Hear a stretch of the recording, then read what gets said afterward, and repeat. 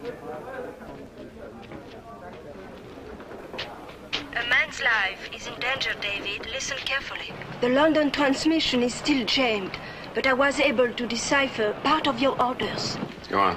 A Soviet agent named I.W. Vorchek has just left his room. He might already be in the hotel lobby. He has been betrayed. The Gestapo is watching him. It's too late to save him now. They're here already. You're not to save him. Prevent him from taking his own life. And let the Gestapo take him alive? Yes, But you know what they'll do to him before they allow him to die? There's got to be some mistake. there is no mistake, David.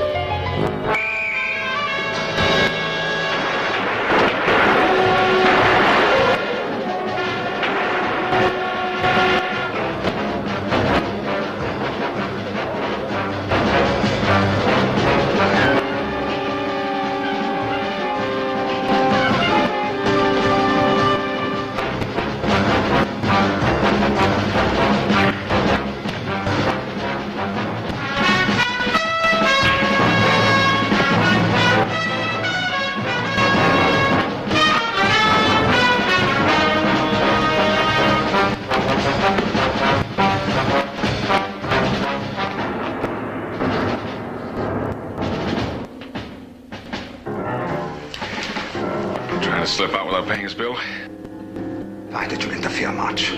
Or to save the man's life, obviously. He is a Soviet spy. He killed two of my men. Gestapo Chief Friedak will see that they're amply revenged. Take him to the circus for questioning.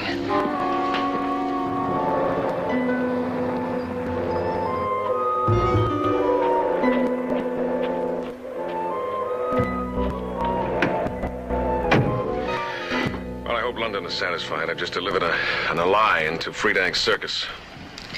A Russian submarine is waiting off Stralsund on the Baltic coast to take Vorchek aboard. He was trying to get information about the new heavy water project the Nazis are planning. Oh, that's something to do with an atomic explosion, isn't it? You must learn everything Vorchek knows. You're the only allied agent who can penetrate Gestapo headquarters, David. What makes Traven think that Vorchek will confide in me, even if I do succeed in getting a private interview? You have permission to identify yourself to him as Blue Light. Is that important?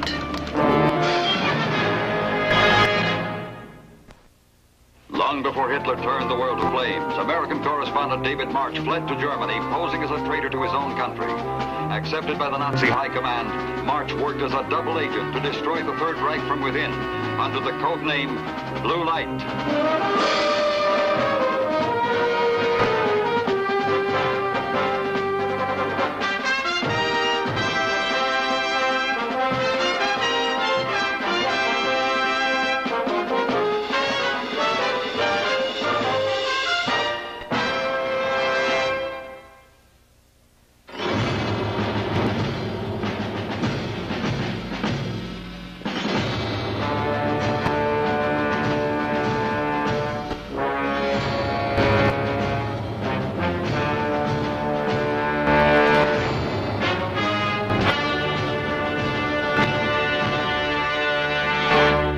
Your business with me? I came here to explain my side of the uh, incident this afternoon at the hotel. Captain Hagner says you interfered. I saved a Russian agent from Hagner's bullet and from his own suicide pill. On the theory that a dead spy is very difficult to interrogate. You meddling amateurs. You make trouble for everyone.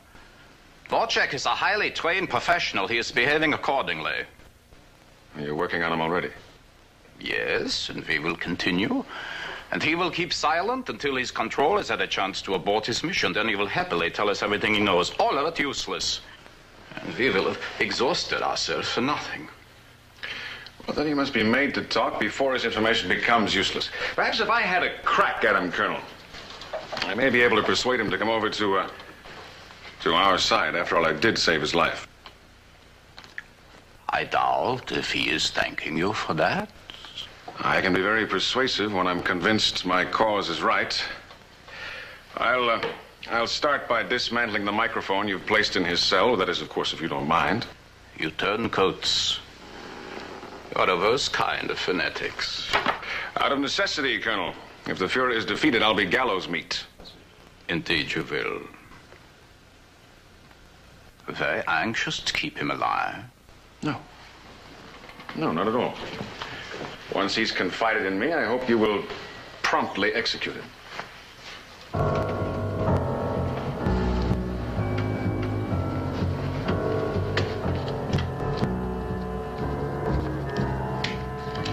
Hand this to the officer in charge at the fourth level. Can use my private elevator.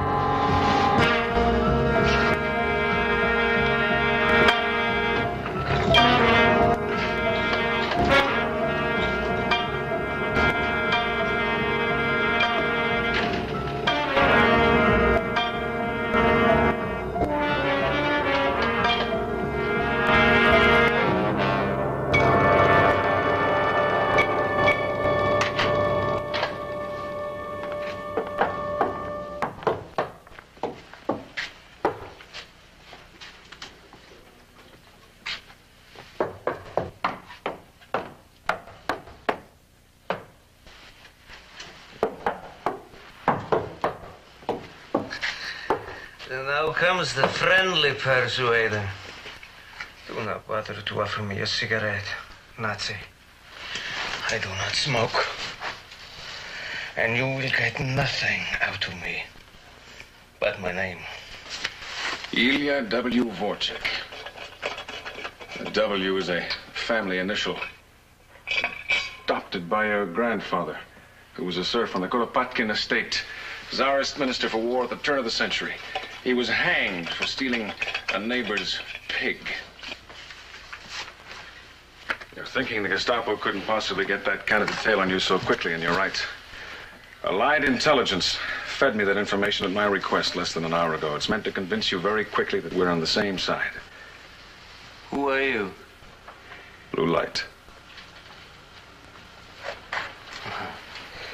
Blue light. David March to the Nazis. Turncoat American reporter.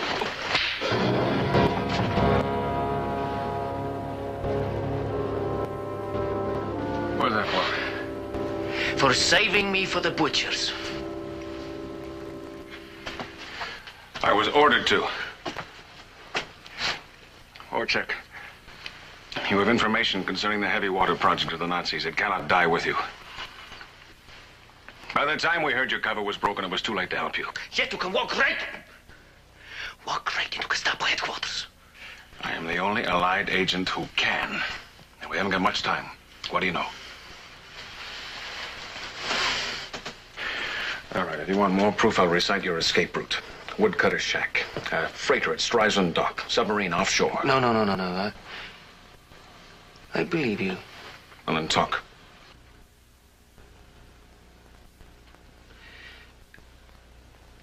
A Nazi agent has murdered a Swiss scientist and stolen the only existing designs for a heavy water plant.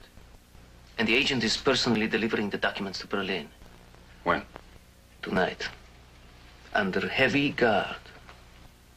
From where? From where? That I will tell you when you get me out of here. A man clever enough to penetrate Gestapo headquarters should surely be able to free an ally. We could both be killed and those designs would get through. You will pull it off somehow, Mr. March. Besides, you will need me to intercept that agent. As much as I will need you. There's too much at stake, Vorchek. Much too risky. You heard my terms.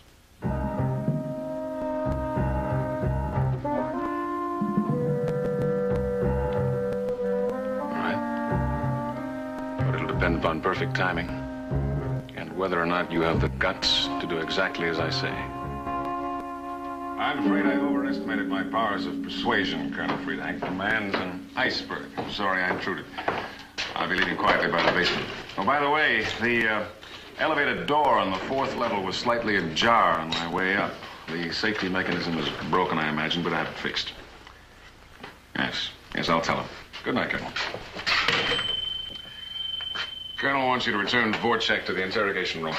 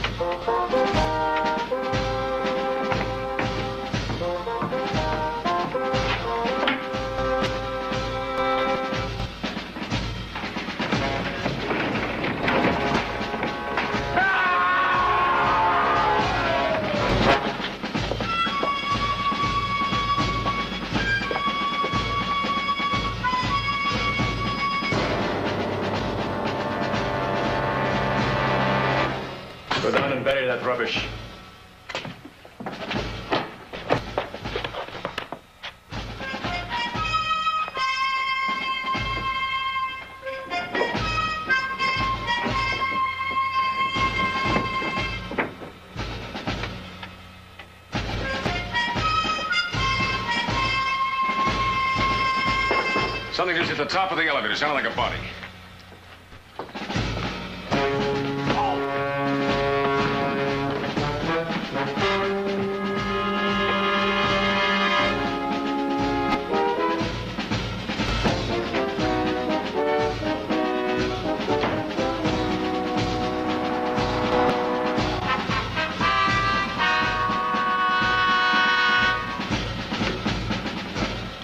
Colonel Friedang's personal courier. I am dropping Mr. March at staff headquarters. Do you have written orders? Phone the Colonel if you're doubtful.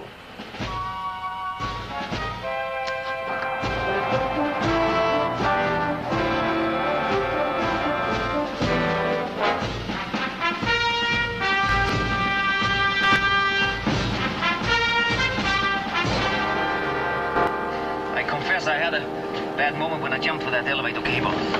Where do we intercept the courier? Dessau. On board the Geneva-Berlin Express.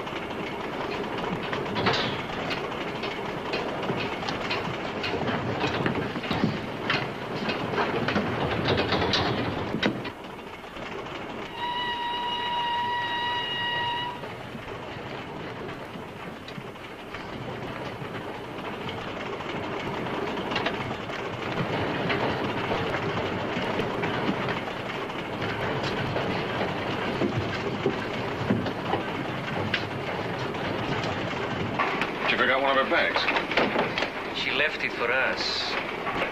Another Russian agent.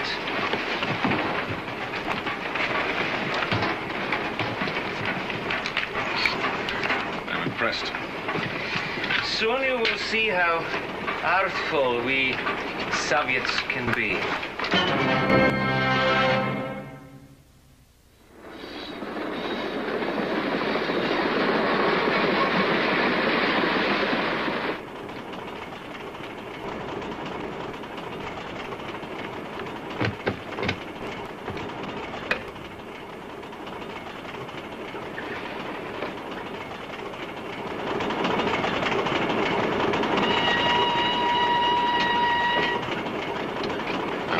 Hope the hook holds.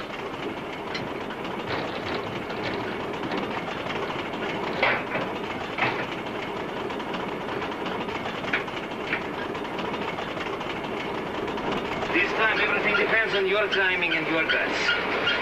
If we pull this off, how do you propose we get to Stralsund? Everything is arranged.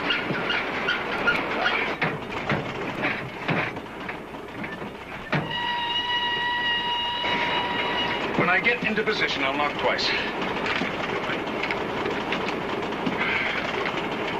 Good luck.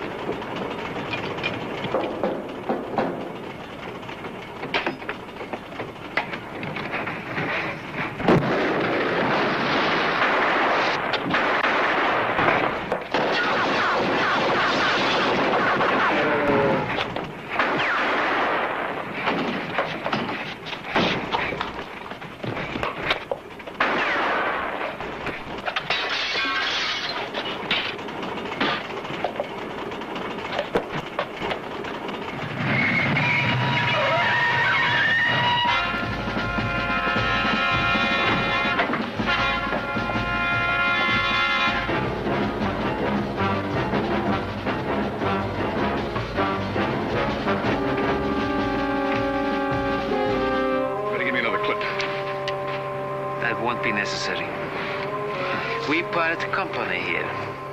Soviet artfulness.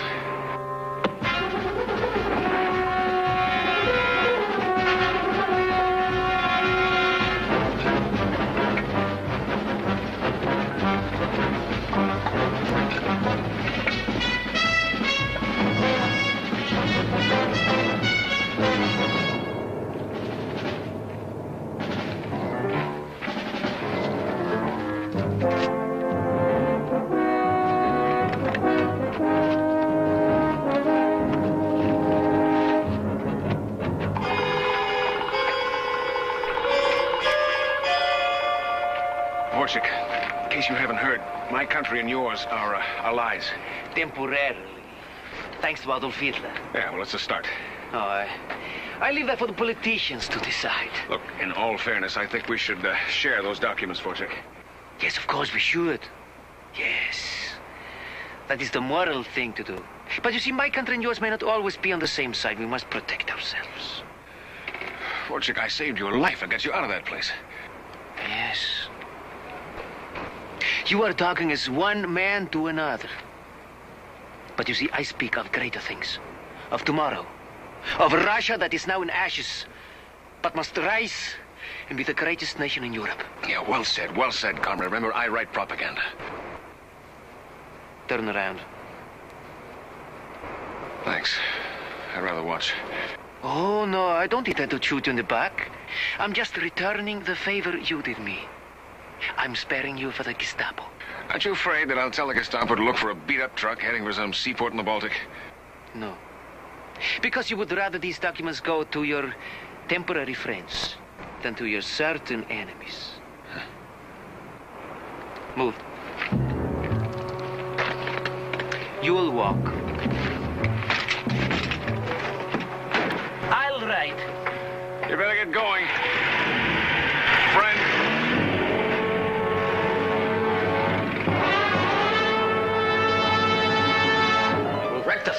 Blunder ourselves.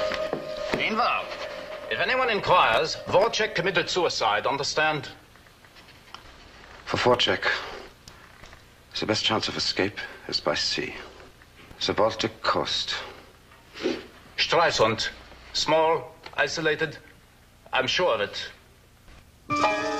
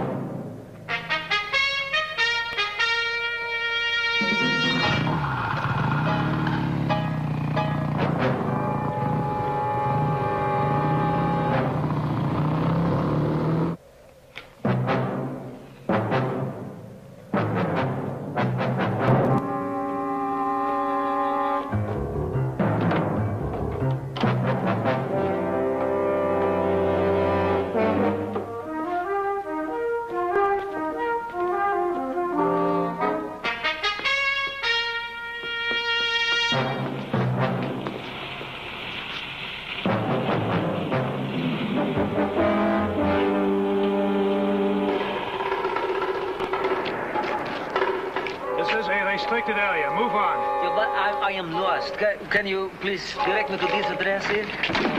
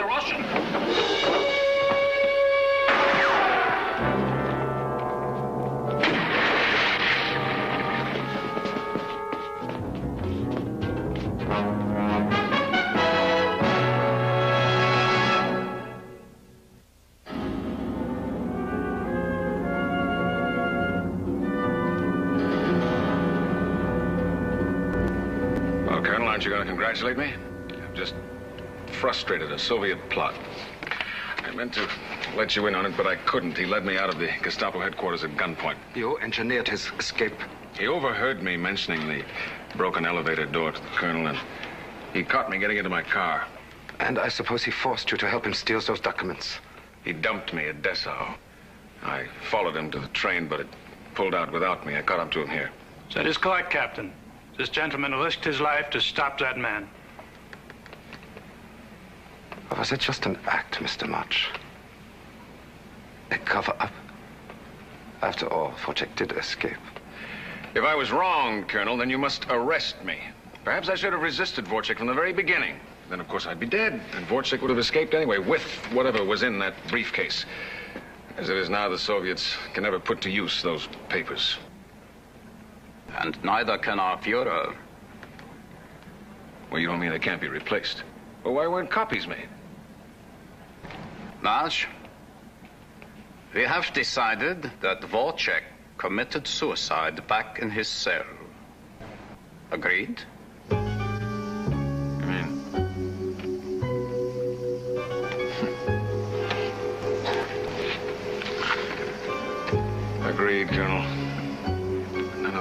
happened. Perhaps that is best for all of us.